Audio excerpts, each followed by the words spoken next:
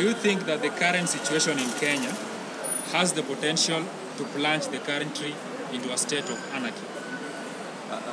Uh, guys, I think that I, I, I don't think that the activities that are running right now can really lead to uh, that dire state. But but this is an eye opener for us all Kenyans.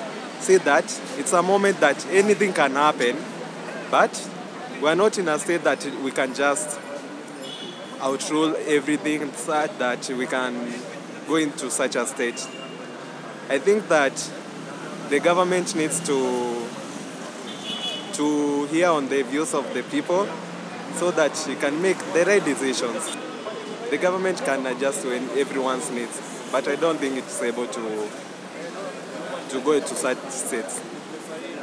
To, those to those saying that it is a defeatist mindset to say that the country can plunge into a state of anarchy, what do you have to say to such kind of people?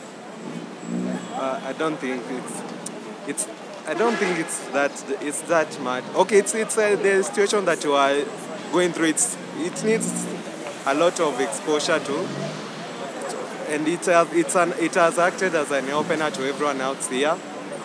So I don't think it's it will reach to that. Uh, recent uh, Senator Lele today was saying that uh, the finance bill was a trigger to the recent protests.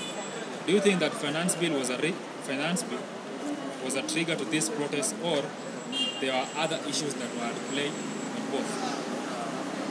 Uh, personally, I think that as Kenyans who have been experiencing most of the issues, which the government has since been unable to address, and it has reached a state that it needed everyone had to act out. So it, it, I think it acted as a trigger, but it's not that it's our first time that we're experiencing such crisis. crisis. So I think it is a, it's a trigger, but as Kenyans we have been experiencing such issues.